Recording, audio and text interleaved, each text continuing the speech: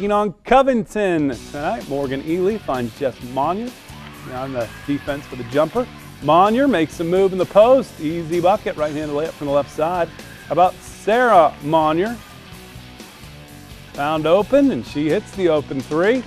Next possession for the Wildcats. They come back to Sarah Monier for another three, but Covington gets the win 45 to 41. Up next, finish strong with your trivia.